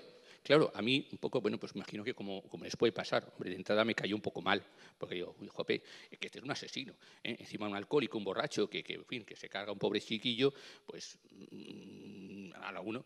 Pero claro, hay que aplicar ese, ese principio de odiar el pecado, pero compadecer al pecador, ¿no? Odiar el delito, pero compadecer al delincuente. Entonces, bueno, pues vamos a intentar y empezamos a trabajar. Con él era muy difícil trabajar, porque claro, yo no le podía ver nada más que de cuando en cuando. Entonces utilicé la exposición mediante el relato escrito. La verdad es que era un sujeto muy obsesivo y entonces me funcionó muy bien. Todos los días usted me escribe el acontecimiento, lo guarda el escrito en un sobre y me lo trae cuando sea. Claro, a los tres meses venía con un carpetón tremendo, aquello llenaba un archivo. Bien, conseguimos pues reducir los síntomas, conseguimos pues, mm, bueno, pues que, mm, superar su situación de alcoholismo, pero claro, nos encontramos con un sujeto, lo siguiente, treinta y tantos años, que había con antecedentes penales, que estaba en la cárcel, bueno, estaba pendiente de ver si le podían conceder el tercer grado o lo que fuera, pero estaba en la cárcel, había perdido a su novia, porque su novia dice que con un delincuente, claro, no, no vivía, se separó, había perdido su trabajo y era un, era un eh, carcelario. ¿Qué hacemos con él? Claro, podemos trabajar en esto, pero claro, ¿cómo el sujeto es capaz de superar todas aquellas cosas? El problema y el reto es importante. También he visto, por ejemplo, pues casos de víctimas, de, por ejemplo, del terrorismo, de asociaciones de víctimas, que dicen, mire, doctor, es que yo llego un momento en que ya no puedo hacer nada. Estoy todos los días en las víctimas, pero ya llevo muchos años oyendo siempre lo mismo, pero mi vida no avanza. Algo falta, ¿no? Y esto es, importante, un concepto en salud mental, porque no solamente aparece en el trauma, ¿eh? aparece en muchos pacientes. Están marginados, discriminados y tal, y, que no avanzan. Llega un momento en que tienen controlado su sintomatología, pero bueno, pero doctor, ¿y qué hago de mi vida? Entonces, es necesario algo más. Y esto es a lo que vamos a hablar del proceso de recuperación. El proceso de recuperación implica dos aspectos, la transformación y el desarrollo. ¿Qué tengo yo que transformar y qué tengo yo que cambiar y qué tengo yo que desarrollar? Pues tengo que transformar. Si yo quiero volver otra vez a la vida, tengo que transformar lo que yo pienso, lo que yo siento, mis creencias y mis objetivos. Tengo que aceptar que esto ha producido un cambio en mi vida. Es muy difícil para la gente aceptar el cambio, ¿eh? yo lo digo por propia experiencia. Uno cada vez se vuelve más mayor y cada vez los huesos duelen más y cosas de estas. Y tengo que aceptar que tengo, eh, una, tengo una edad y que ya no tengo 20 años y no puedo estar por ahí corriendo y saltando, como a mí me gustaría. Tengo que aceptar ese cambio en mi vida. Y tengo que adaptarme a esa nueva situación. Y cambiar mis, pensamientos, mis creencias, mis metas o mis objetivos. Y tengo que desarrollar un nuevo significado y nuevos objetivos en la vida, si quiero adaptarme a la situación. Y esto es el caso que me planteaban estas dos personas. Vamos a ver, en la vida, mira, no podemos vivir sin dolor ni sin sufrimiento. El dolor y el sufrimiento es propio de la vida. Y eso hay que aceptarlo. La vida no es maravillosa y que todo el mundo es todo es feliz y todo es... No, en la vida hay adversidad y hay sufrimiento. Entonces decía Víctor Frank que si no puedes cambiar una situación adversa, tú siempre eres libre para cambiar la actitud con la que afrontas, esa situación. Él estuvo en los campos de concentración tres años, Víctor Frank, y en ese campo, el campo de concentración murieron sus, sus padres y su mujer. Y él estaba en aquella situación y dice, es que yo eso no podía cambiarlo, yo no podía que más hubiera querido que salir de esa situación. Pero sí podía cambiar la actitud con la cual yo, yo lo llevaba. Hay cosas que no podemos cambiar, pero sí podemos cambiar esa situación. Entonces, el proceso de cambio, vaya, significa muchas cosas. Pero primero es que solemos tener una tendencia a centrarnos en lo problemático, en lo difícil y no hacer nada. Yo no sé, a mí me ha pasado con, mis hijos, que algunas veces, pues cuando llegaba la época de los exámenes, ¿verdad? Como me imagino que habrán pasado a muchos, ay, yo no voy a poder con este examen, esto es muy difícil, esto no se puede conseguir. Y entonces, deja de quejarte y empieza a estudiar. Eso es lo que yo decíamos y decíamos y, y, es así. Si nos centramos solo en lo problemático, en los problemas, en las dificultades,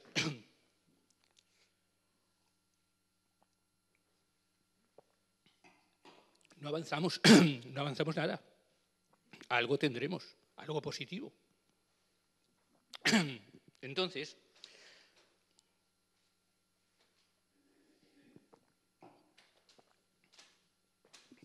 tenemos que generar nuevas capacidades para fortalecernos, para desarrollar unas relaciones interpersonales más significativas, más íntimas, y para pues, abrirnos a nuevas posibilidades.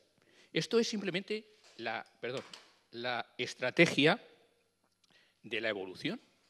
Las especies que se adaptan son las que evolucionan. Las que no se adaptan son las que mueren.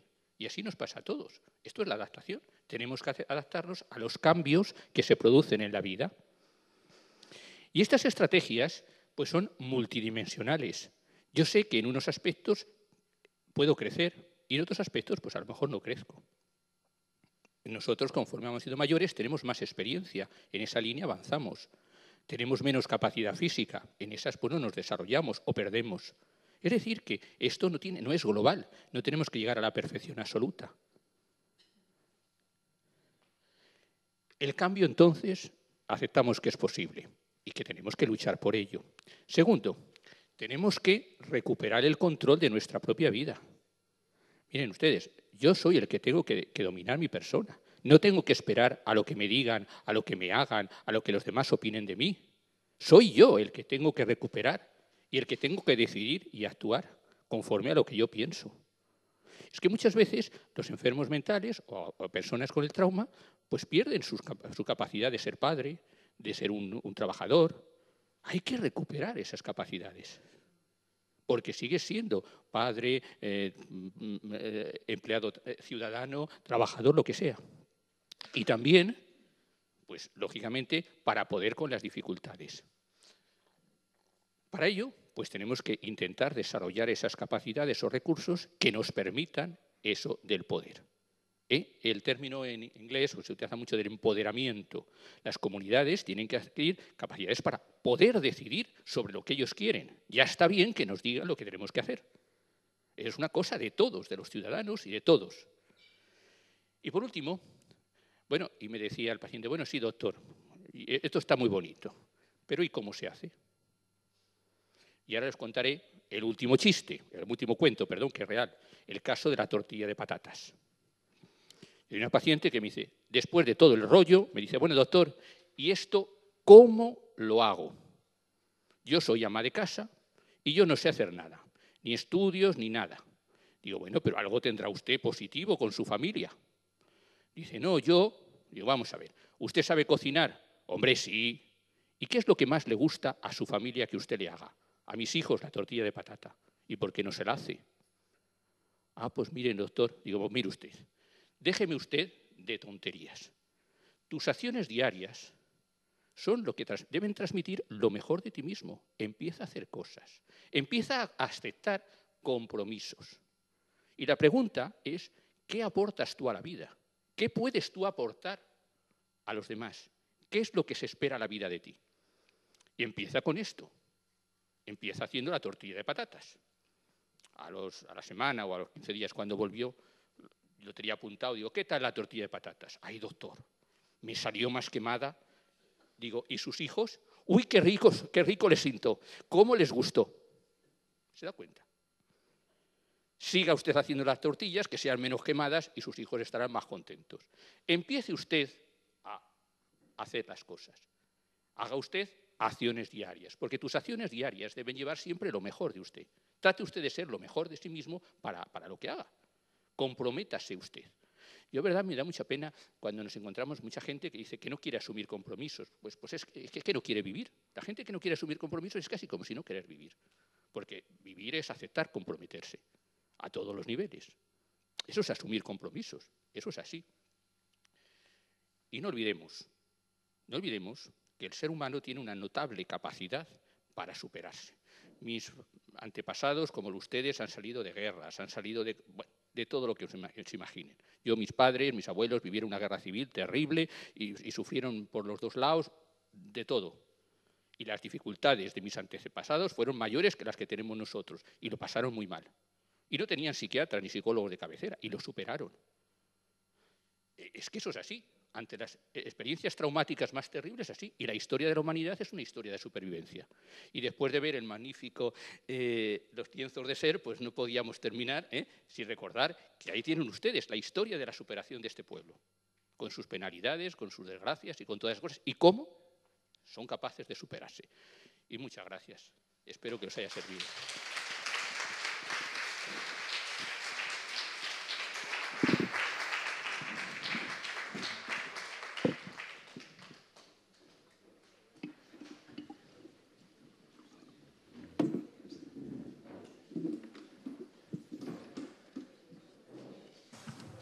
Muy bien. Bueno, yo quiero en primer lugar agradecer al doctor Medina por su magnífica intervención y por su carácter tan didáctico y tan completo y sistemático a la hora de poder explicar los pormenores del trauma, eh, los programas de tratamiento existentes y, el, y el más allá del trauma desde el punto de vista de la recuperación y del crecimiento personal creo que realmente ha sido muy rico y que, por tanto, creo que se presta a que mm, pues, bueno, puedan plantearles algún tipo de cuestión o de comentarios que quieran hacer en relación con, con la riqueza de su exposición. Así que tienen la palabra. Sí. Por favor, que las intervenciones sean lo más breves posible para que facilitemos el, coloquio. Yo tengo dos preguntas básicas, que es eh, este este conjunto de talleres o de conferencias me parecen geniales, son muy informativas y muy didácticas y creo que están ayudando bastante. Pero eh, los profesionales, y sí, profesionales que nos atienden, tanto psiquiatras como psicólogos, reciben algo de esto, hacen algo de esto, porque sinceramente yo personalmente como usuaria siento que tiene muchísimo que desear.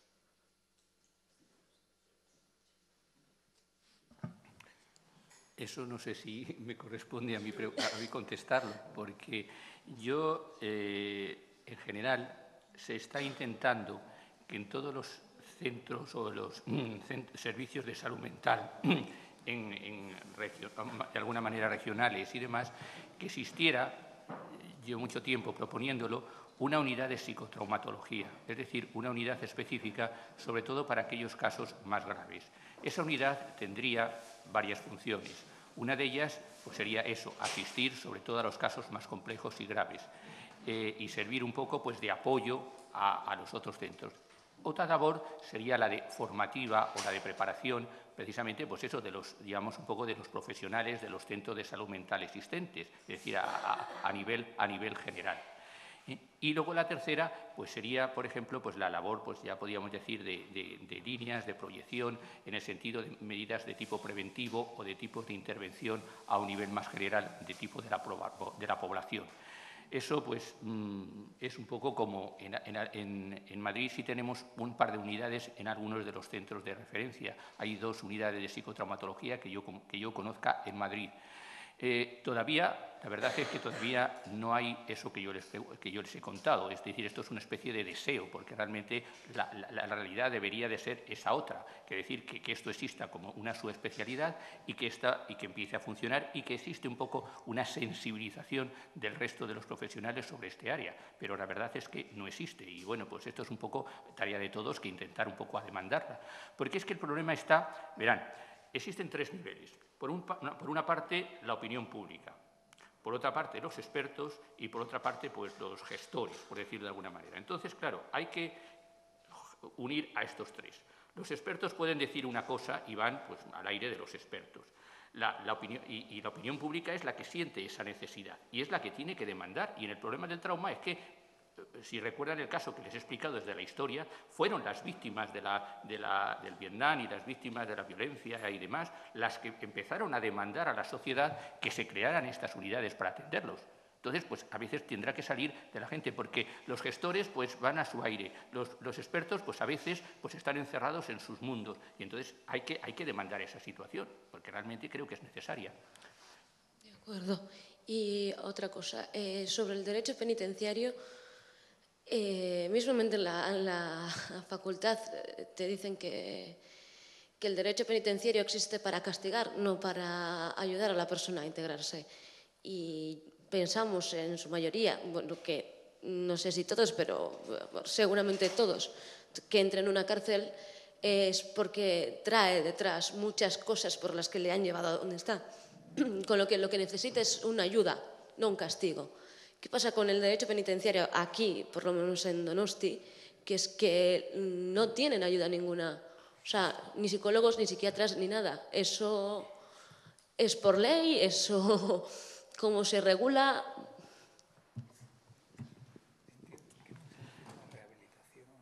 Claro, mm, mm, eh, eh, es, que, es que lógicamente el tratamiento es un tratamiento de rehabilitación y de reinserción. No es, una pena, efectivamente, es así. Es que, debería de ser así. Y eso es la política penitenciaria. Y entonces, lógicamente, en todo esto tiene que existir.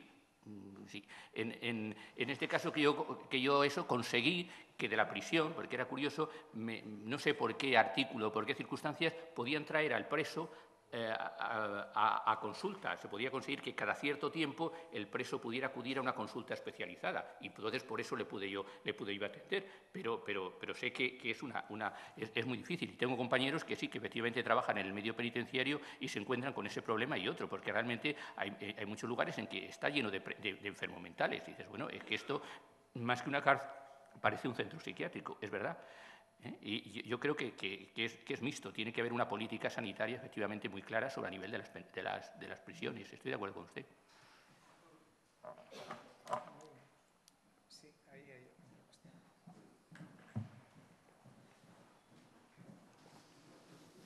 Gracias. Em, cuando ha hablado de llegar a la exposición del trauma o del acontecimiento traumático, ¿siempre es bueno para la persona? Es decir, ¿se tendría que tender a eso o no hace falta? O sea, el hablar explícitamente lo que ha pasado. Vamos a ver, la única forma de verbalizar el trauma es hablar de él. Con eso le contesto todo. Es decir, claro, es necesario que, que la persona lo verbalice. Ahora bien, el problema es el momento en el cual lo vamos a hacer, porque, como hemos dicho, hay que respetar la situación del paciente. Yo he atendido pacientes que han estado 10 años, no, no exagero, sin hablar del acontecimiento, sin poderlo verbalizar. Me lo han dicho, doctor, es la primera vez en 10 años que he podido hablar de esto. O sea que algunos es que están así. ¿eh? Es que, pero en algún momento hay que abrirse. Entonces, se necesita. Lo que pasa que, claro, lógicamente es muy delicado. La entrevista con estos pacientes es muy difícil hay un libro dentro de las DSM, de los libros de DSM que pone entrevistas difíciles. Bueno, pues estos están ahí. en este apartado dice entrevistas difíciles. Está el paranoico, está, pues ese está ahí. ¿eh? Porque es muy difícil. Hay que tener mucha sensibilidad con ellos. Porque te puedes pasar en un sentido y en otro. Te puedes pasar en el sentido de que te, que, te, que te contagie y que entonces pues que lo pases muy mal porque te contagia y entonces pues te vuelves un poco de su lado y tú no eres un amigo, tú eres un profesional que le estás ayudando. Y puede ocurrir todo lo contrario, que lo rechaces o que note el rechazo. Y entonces trabajar en esas dos áreas es muy difícil. Y como tú no consigas la confianza, es muy difícil que verbalice y que quiera hablar de ello. Porque hay muchos es que se niegan. Porque claro, es doloroso y no quieren hacerlo.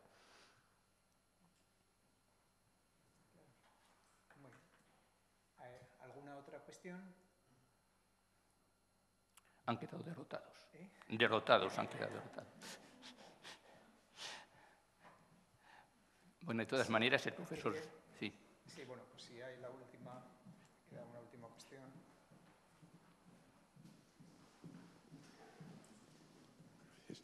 El doctor Medina ha hablado varias veces sobre las guerras y como factores eh, de estrés postraumático.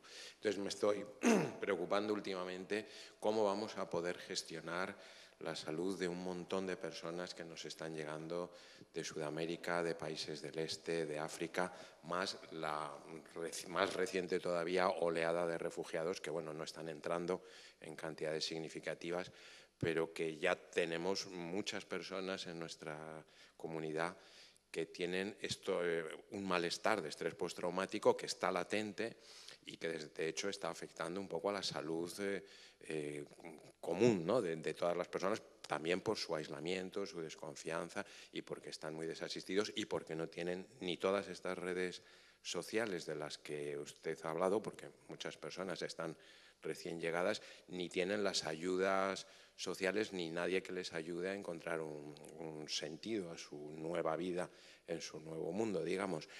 Entonces, esto me parece algo preocupante y creo que las políticas sociales no están eh, trabajando en eso todavía. Y si acaso queda un poco en manos de algunas organizaciones eh, humanitarias, digamos, pero que no disponen tampoco de medios suficientes para esto. Y la red pública no está preparada para, para todo esto. Mm, mm, tiene toda la razón. Y, y aprovecho un poco para la situación para decirles que cuando hablaba yo del diagnóstico ese integral, el centrado en la persona, mm, por, por problemas de que no me cogía en la transparencia, en en la proyección, no lo he puesto, pero faltaba un epígrafe que, iba al final, que es el diagnóstico cultural. Es decir, no solamente tenemos que ver todos esos aspectos dentro de la persona, sino que tenemos que ver la cultura de procedencia de esa persona y la situación real de esa persona. Eso es muy importante. Entonces, claro, eh, el problema es que nos encontramos con ese tipo de, gente que viene con un idioma distinto, con una cultura diferente y que muchas veces pues, es muy difícil comunicarnos. Y, lógicamente para atenderlos, pues claro, necesitamos pues toda una serie de medios que, la verdad es que no los tenemos. Claro, yo, yo sugiero a los que, en fin, que son muy partidos de este tipo, pues que, que claro, podemos traerlos, pero que, tenemos que tener presentes qué es lo que les podemos ofrecer y qué medios tenemos para ofrecérselo y, poder disponer de esos medios si queremos prestarles ayuda. Como yo voy a es una personas con las cuales no me puedo ni, relacionar ni entender, porque yo he tenido algún, algún caso de este tipo. Yo recuerdo que había una persona, me parece que era de Ghana, que, bueno, estaba absolutamente traumatizado y, que le habían tomado por, por, un cuadro psicótico y, recuerdo el que estaba en un comedor y de repente pues vio entrar a una, una, persona de uniforme, no sé si era un guardia civil o un, policía o alguien parecido, y entonces el chico empezó a saltar y a dar golpes y a gritar totalmente agitado, no porque tuviera un brote psicótico, sino porque estaba de alguna manera sensibilizado por el trauma y la presencia de aquella figura de uniforme fue el que puso en marcha pues un, un, fenómeno de, flashback. Es decir, estaba viviendo la escena que él había sufrido en su país, cuando los dictadores de turno y los militares de turno pues, pues iban a matarle. Y entonces él pensaba que, en aquel centro de refugiados que había, iban a por él y, le, iban a, y le iban a matar. Costó conseguimos un intérprete y pudimos, pues, en fin, trabajar un poco sobre él, ayudándole un poco en esta línea. Este es un caso en el cual se pudo detectar, pero, pero, pero ¿cuántos casos está ocurriendo con, este tipo de cosas? Que vienen pues, de, situaciones terribles y trágicas y que hay que prestarles esas ayudas. Eso es evidente. Y, que tenemos que tener gente preparada para ello. Yo tengo algún, tengo algún compañero que ha trabajado en, que está eh, trabajando precisamente en esos, con esos grupos de, para tratar un poco pues, de favorecer su integración y tratar de... Pero hay, hay, algún equipo de salud mental en Madrid que trabaja sobre estos, sobre esto y yo creo que deberían aquí también existir algún equipo de salud mental que se encargue específicamente de esta gente y que tenga los medios, los intérpretes o lo que sea que sean necesarios para ayudarles. Porque, claro, eh, si no, si no pues, pues eh, es tremendo lo que puede pasar, tiene toda la razón. De todas maneras, bueno, yo me ofrezco, el, doctor, el profesor sabe cómo, cómo, conectar conmigo y si tiene alguna duda, alguna cosa o alguna cosa que yo les pudiera ayudar, pues, pues sabe cómo contactar y yo de mil amores, pues lo que yo pueda poner mi experiencia, pues ponga, la pongo a su disposición. ¿eh?